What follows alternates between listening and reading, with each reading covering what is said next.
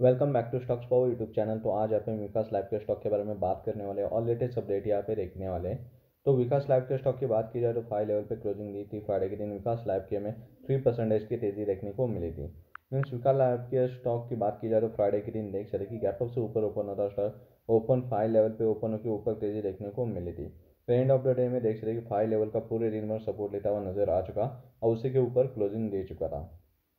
Market cap देख सकते हो सिक्स सेवेंटी फोर करोड़ की है, market cap P ratio nine point twenty nine का है। पिछले पाँच दिनों के ऊपर नज़र डाली जाए तो स्टॉक के अंदर देख सकते ऊपर तेज़ी देखने को मिली थी, फिर गिरावट यहाँ पे हो चुकी थी, फिर भी three percentage of a stock तो येस बैंक स्टॉक के वॉल्यूम भी के ऊपर नज़र डालेंगे फ्राइडे के दिन के।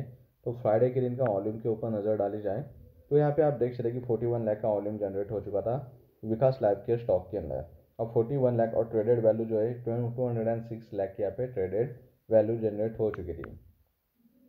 सिक्योरिटी वाली डिलीवरी पोजीशन के ऊपर नज़र डाली जाए तो देख सकते कि quantity traded tape forty one lakh उसमें से twenty three lakh quantity delivery के लिए जा चुके थे मीन्स नेक्स्ट डे पोजीशन के लिए means fifty seven percentage quantity जो है ट्रेडेड में से नेक्स्ट डे होल्डिंग के लिए जा चुके थे।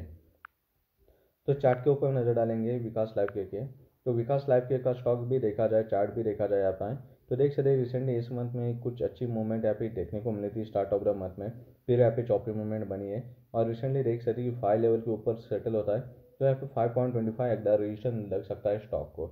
एक ब्रेक होता है तो ऊपर ज़्यादा सिक्स लेवल तक जाने के चांसेस ओपन हो जाएँगे। तो ये लेटेस्ट अपडेट विकास लाइफ के स्टॉक के लिए।